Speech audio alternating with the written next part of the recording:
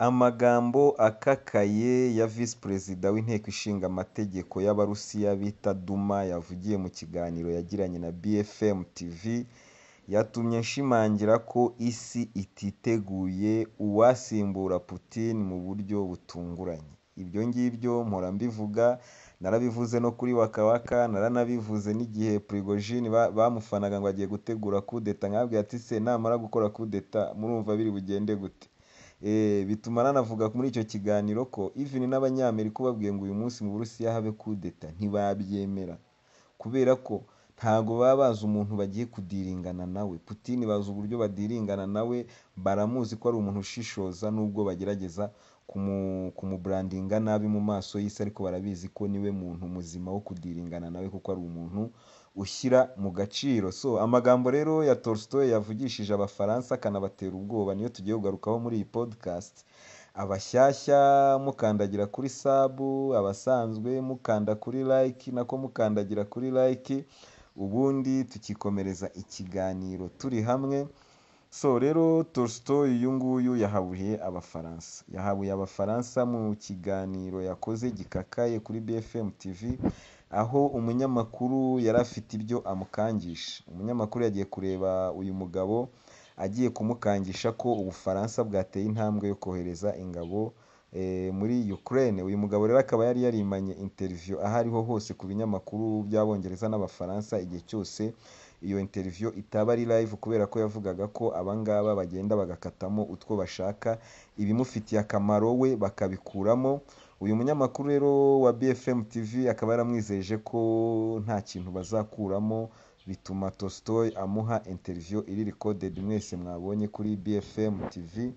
Umunyamakuru rero mu bikangisho bye byinshi abwira Tolstoy ati Macron yateye indi ntambwe. Tolstoy ati sinitaye ku ntambwe za Macron. Uyu nguyu ati Macron agiye kohereza ingabo muri Ukraine. Uyu nguyu ati sinitaye ku ngabo agiye kohereza muri Ukraine. Uyu nguyu arongeraho ati Macron ariko afite intwaro kirimbuzi wagombye kuba ubyitaho. Uyu nguyu aramubwira ati ndabizi murazifite misile magana abiri. Aha ngaha akaba yabimubwiye kugira ngo amwibutse ko Uburusiya bufite misile zirenga ibihumbi bitanu magana, ari bwo bwa mbere kuri izi misile za kirimbuzi. Amwibutsa ko Ubufaransa bufite magana abiri. Umunyamakuru ati ariko yiteguye, ingabo ziravuga ko ziri tayari kuba zakwambuka imipaka zikaza muri Ukraine. Uyu mugabo aramubwira ati ntugire ikibazo rwose ndagusezeranya ko izo ngabo tuzitegereje zose nta n'imwe izataha zizahasiga ubuzima. Ikimenyimenyi kuva operasiyo yatangira tumaze kwica Abafaransa barenga ijana na mirongo itatu aha ngaha muri Ukraine. Ajombamo n'akantu gasa n'ako kugumura Abafaransa aramubwira ati nagira ngo nibutse Abafaransa muri iki kiganiro ko muri iyi ntambara ya Ukraine hamaze kugwamo Abafaransa ijana na mirongo itatu na sinibuka ariko ni ijana na mirongo itatu barenga.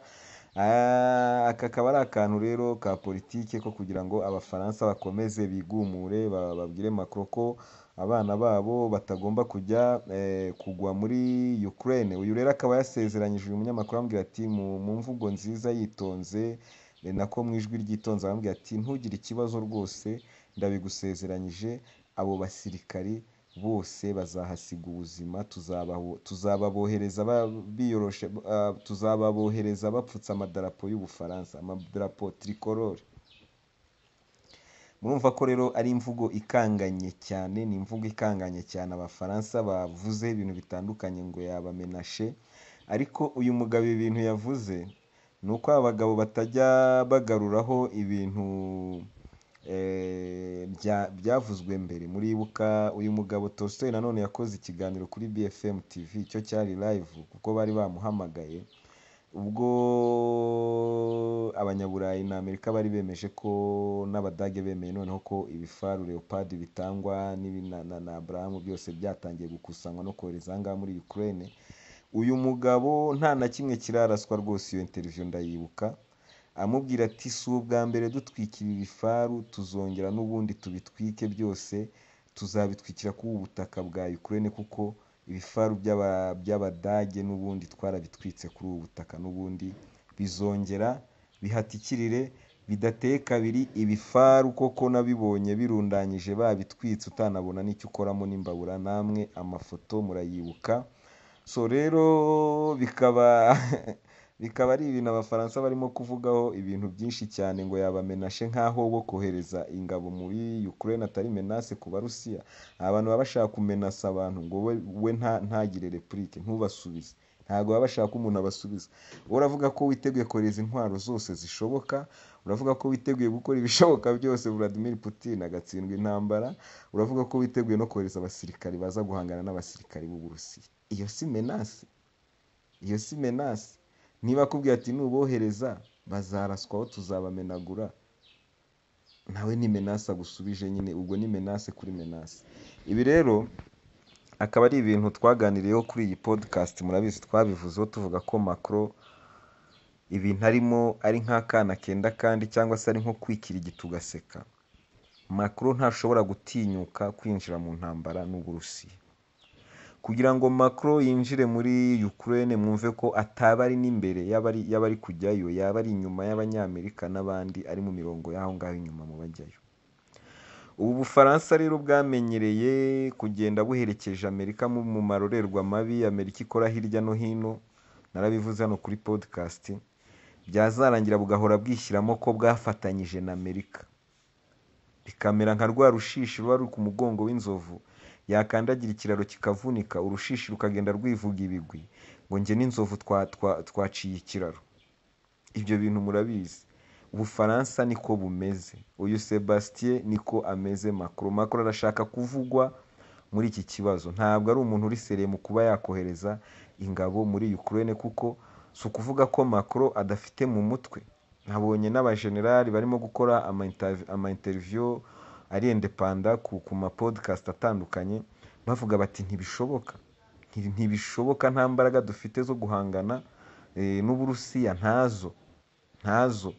So bivuga ngo Macron arimo arashaka Macron nawe mba mbona ameze nk'umukomediye mba mbona afite ahantu ahuriye na Zelensky bafite akantu gato mba mbona bahuriyeho. Nubwo Macron atabaye umusitari cyane mu bintu by'amakomedi ariko nawe ni, muri ayo ngayo. Kubera ko muribuka ko muri iki cyumweru Macron yasohoye amafoto ari, arimo arimo gukubita iyi, iyi bag ya box bitorezaho. Arimo kwitoza y'abantu ubona y'abantu yafunze ingumi bya atari arimo kuvuga ati niteguye. Urumva izi foto zose ziba zifite ubutumwa bwa politike bwihishe inyuma. Ni nko kwerekana amakuru ko yiteguye guhangana na Putin. Uzi Putin inguma atera uzi Putin jida atera? Utamureba kuriya ngo uri muto kuri we Putin yakuzingazinga byahatari mu masegonda abiri. So rero nk'ayo mafoto iyo atangiye gusohoka amafoto ameze gutyo ni ikikwereka propaganda iri behind. Ni ubufaransa bwari buri kuruzinga muri afurika uyu munsi bushaka kongera kugira bushaka kongera kugira ah, kugumana umwanya bwari buriho bwibagije abantu nuza rost bwagize muri afurika so n'ahangaha muri Ukraine rero burashaka kuba ari bwo buri imbere burimo kurwanirira Ukraine burimo kuvuga intambwe yo kohereza ingabo muri Ukraine ariko twese turabizi ko ibyo ntibishoboka. Nta mufaransa wakohereza ingabo muri Ukraine yaba yasaze.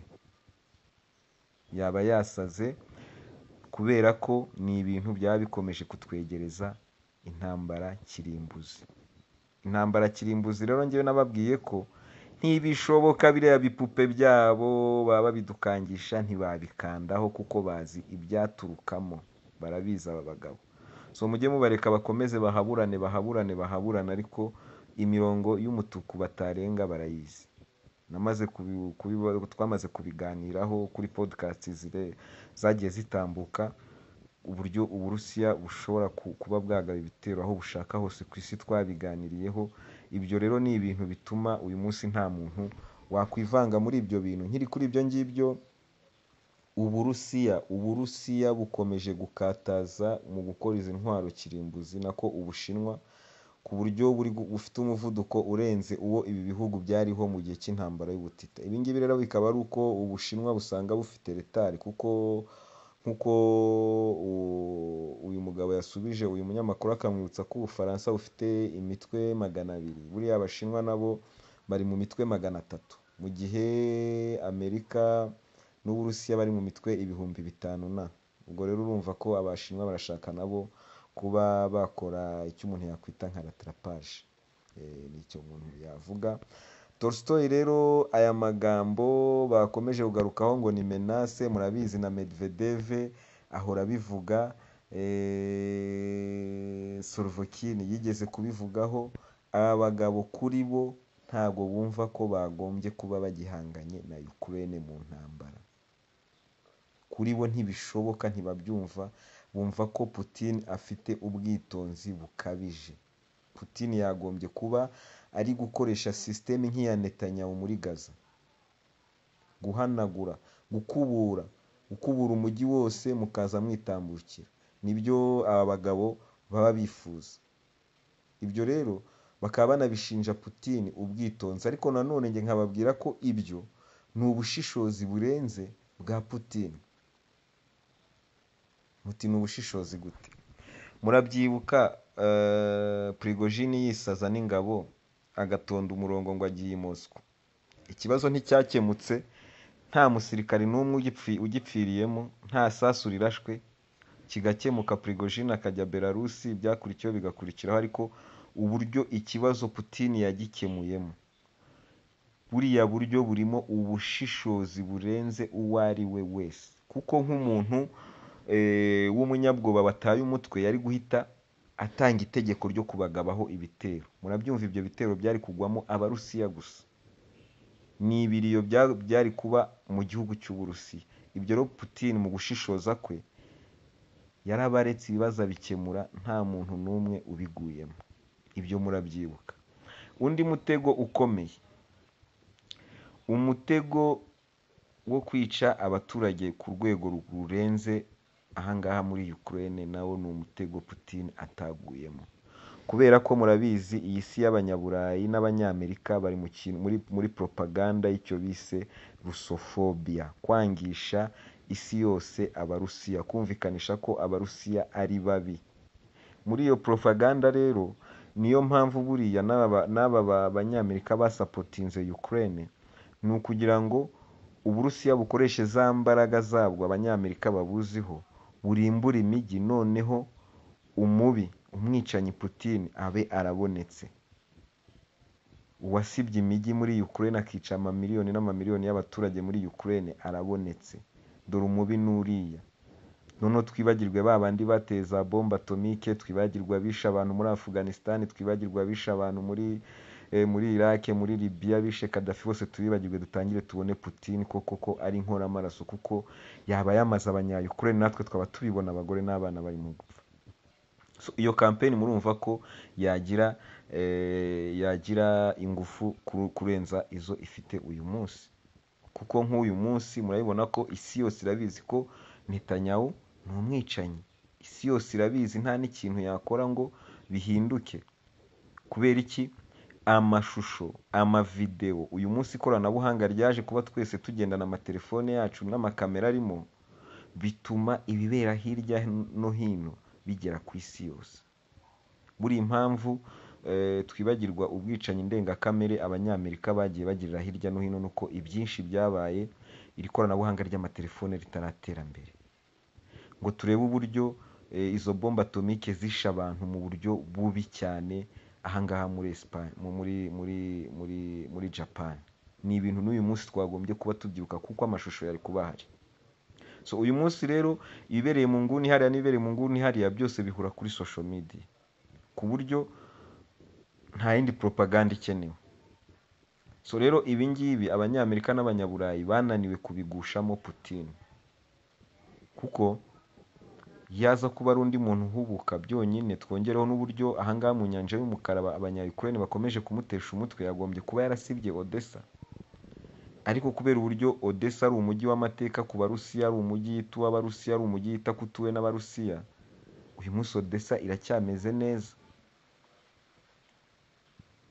So rero ni ikintu natekerejeho ndavuga nti ninde wasimbura Putin? Biramutse bibaye ngombwa ko asimburwa ku buryo butunguranye. Ese hari ubyiteguye? Ese abanyamerika bo ni- babyifuza? Ubu abanyamerika ubabwiye uti habe kudeta mu burusiya babyemera cyangwa aba bafaransa? Kereka umuntu udatekereza kure. Kereka umuntu udatekereza kure. Kubera ko nubwo aba bagabo baza kudemonayizinga Putin barabizi ko Putin ari umugabo ushishoza. Utakora amarorerwa utabatera bombe atomike atari atari atari ukuvuga ngo ayikoresheje kuri rya segonda rya nyuma. Hari uwaza agahita abikanda. Hari uwazi izi ndege zose zikorosinga mu nyanja y'umukara ukajya wumva buri gihe bahora bakozanyaho bakozanyaho bakozanyaho. So ibyo ngibyo ntabwo abanyamerika babyifuza nta nubwo abanyaburayi babyifuza. Kuko uburusiya ni igihugu gikomeye malgré tout. Igihe cyose hazaho umuntu rero ukoresha izo mbaraga mu buryo bwo gukandamiza isi cyangwa se bwo guhohotera ibindi bihugu ni ikintu cyagora isi kuko uburusiya bufite n'iyo mitwe nyine ya kirimbuzi. So rero nagira ngo tugaruke kuri aya magambo akakaye y'aba bayobozi b'uburusiya ariko impamvu nagira ngo tuyagarukeho ni uko nashaka ko tugaruka kuri icyo kintu cyo kuvuga ngo Putin ni we muyobozi ukwiriye abarusiya. Nta n'uwiteguye ko yasimburwa mu buryo butunguranye. Ntawe. Yaba abarusiya kubera akamaro abafitiye yaba abanyaburayi n'abanyamerika kubera ko batiteguye uwo baba bagiye guhangana nawe. N'imbaraga yabishyiramo. Nibyo ngibyo rero navuga kuri kuri iyo interview ya Tolstoy ni interview irimo amagambo akakaye ah, ni interview igaragaza ko ah, abarusiya benshi bari mu bakomeye no mu buyobozi abenshi burya bashyigikiye ko Putin yakoresha imbaraga z'umurengera. Kuko niba mwumvishe ikiganiro cy'uyu Tolstoy we aracyavuga ibyo kugera ku mupaka wa Polonye ikindi ikindi kintu gikomeye yavuze uyu mugabo muri interview. Murabizi ko umwe muri ba sogokuruza biwe yabaye meya wa Kiev. Akavuga ko rero Kiev ari igihugu cyiwe Ukraine ari igihugu kiba atifuza ko kiba igihugu eh, cy'abanazi cy'abanazi. Ibyo rero ni ibintu nagira ngo tugarukeho tubiganireho ariko tunavuga ku makari y'abari munsi ya Vladimir Putin.